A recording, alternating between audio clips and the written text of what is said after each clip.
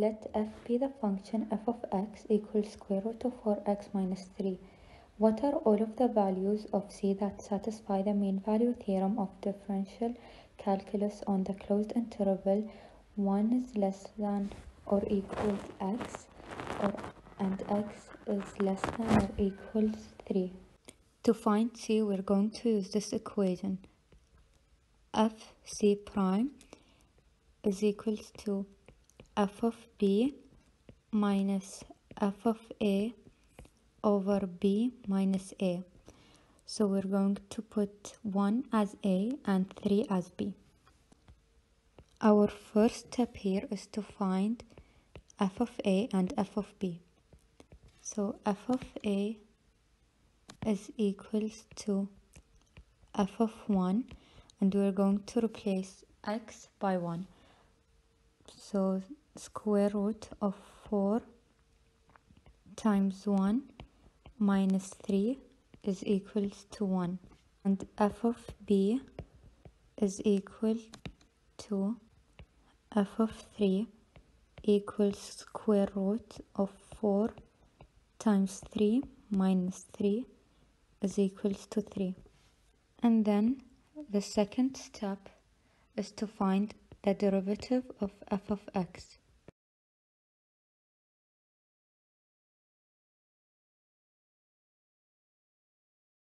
First, we're going to rewrite the equation without the square root. We're going to remove the square root.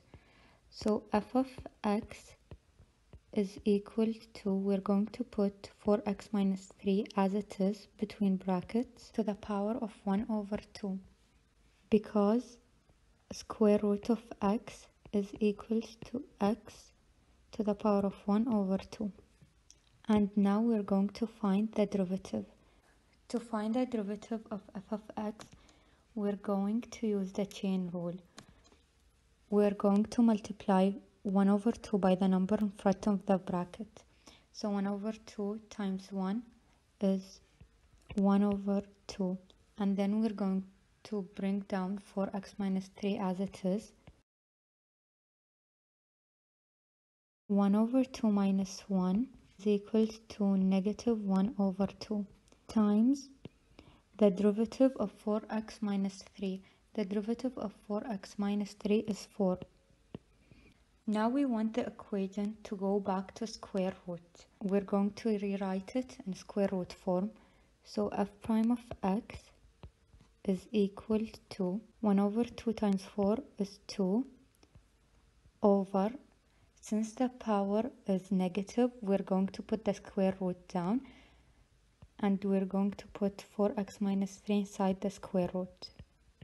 The third step is we're going to use this equation now. So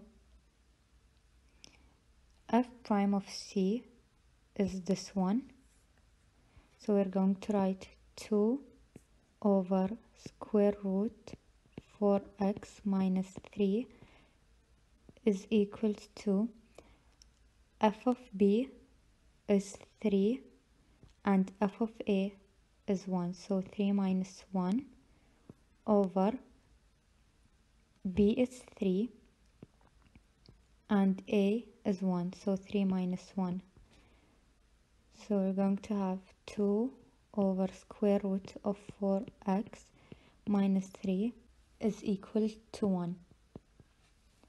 And now to find x we're going to use cross multiplication.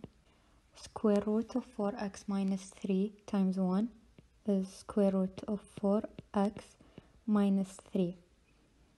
And 2 times 1 is 2.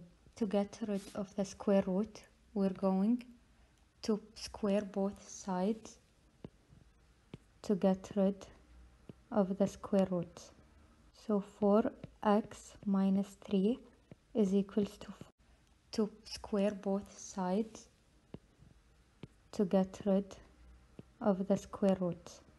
So 4x minus 3 is equals to 4.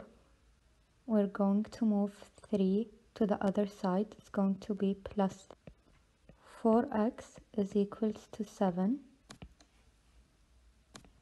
to let x be alone we're going to divide both sides by 4 so x is equal to 1.75 so c is equal to 1.75 we're going to check if 1.75 is between 1 and 3 and it is so our answer is correct